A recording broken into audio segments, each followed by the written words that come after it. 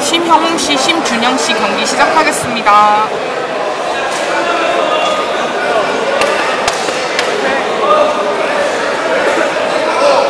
이거 다음에